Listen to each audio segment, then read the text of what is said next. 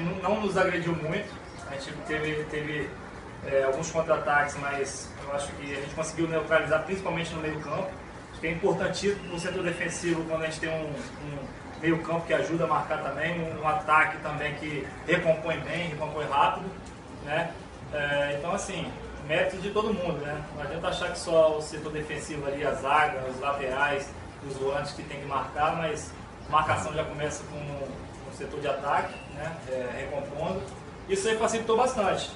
Né? As bolas que chegavam para a gente, a maioria sem muita dificuldade, né? não tirando os méritos do Luverdense né? e nem os nossos méritos também, é, principalmente do setor defensivo.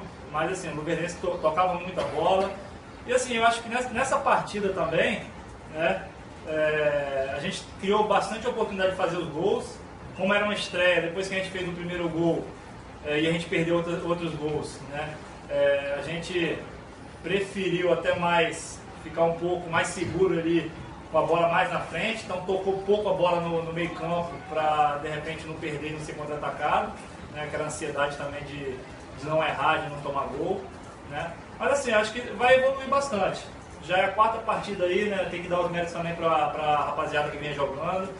É, uns não jogaram essa, essa partida, mas foram três partidas antes de eu, de eu, de eu estrear sem tomar gols.